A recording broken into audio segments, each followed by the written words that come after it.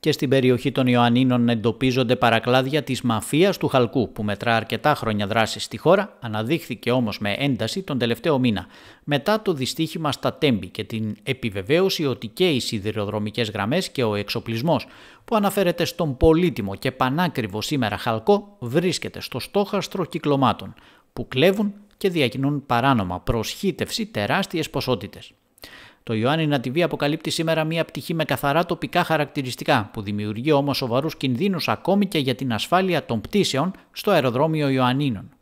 Τα τελευταία χρόνια ο περιβάλλον χώρος του αεροδρομίου έχει βρεθεί πολλές φορές στο στόχαστρο αγνώστων που αναζητούν, εντοπίζουν, αφαιρούν και διακινούν στο παράνομο εμπόριο προσχύτευση τα καλώδια χαλκού. Η αρχή έγινε από τα καλώδια στον περιφερειακό φωτισμό του αεροδρομίου που λειτουργεί ως φωτοσήμανση με επίκεντρο την περιοχή προς το εργοστάσιο του βιολογικού καθαρισμού. Η αποκατάσταση της ζημιάς γινόταν σταδιακά, οι δράστες όμως επανέρχονταν αφαιρώντας και τα νέα καλώδια. Υπολογίζεται ότι σε αυτό το διάστημα των τριών περίπου ετών έχουν αφαιρεθεί καλώδια χαλκού από τον περιφερειακό φωτισμό του αεροδρομίου συνολικού μήκους 15 χιλιόμετρων.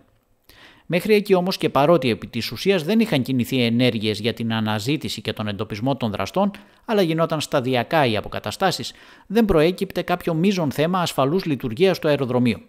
Αυτό όμως καταγράφεται με ένταση πλέον τους τελευταίους μήνες.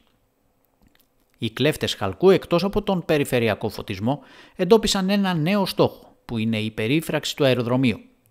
Έτσι, οι υπεύθυνοι λειτουργία του αερολιμένα, κατά τον τακτικό έλεγχο που διενεργούν περιμετρικά του χώρου, εντόπισαν πολλές τρύπες στην περίφραξη, με αποτέλεσμα να σημάνει συναγερμός, αφού η περίφραξη είναι βασικό συστατικό της ασφαλούς λειτουργίας του αεροδρομίου.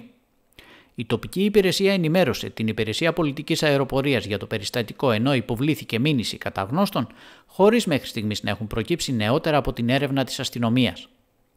Το ζήτημα που προκύπτει για την ασφάλεια των πτήσεων σχετίζεται με το ότι από τις τρύπες στην περίφραξη είναι εύκολο να εισέλθουν στο χώρο του αεροδρομίου και στο διάδρομο προσγείωσης και απογείωσης μικρά αλλά και μεγαλύτερα ζώα που μπορούν να συγκρουστούν με κάποιο αεροσκάφος, θέτοντας σε κίνδυνο την ασφάλεια της πτήσης.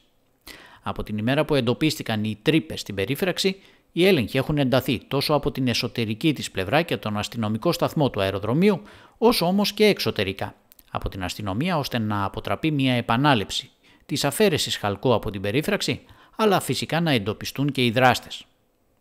Πριν από λίγες ημέρες, η αστυνομική διεύθυνση Ιωαννίνων ανακοίνωσε τη διακρύβωση πέντε μελών μιας πύρας ημεδαπών που ενέχονται σε κλοπές μεταλλικών αντικειμένων και συγκεκριμένα σωλήνες, χαλκού, αλουμίνια και εργαλεία στα Γιάννενα. Οι κατηγορούμενοι αφαιρούσαν τα αντικείμενα που τους ενδιαφέραν από αποθήκες επιχειρήσεων και οικοπαίδων όπου εισέρχονταν με διάρρηξη της περίφραξης.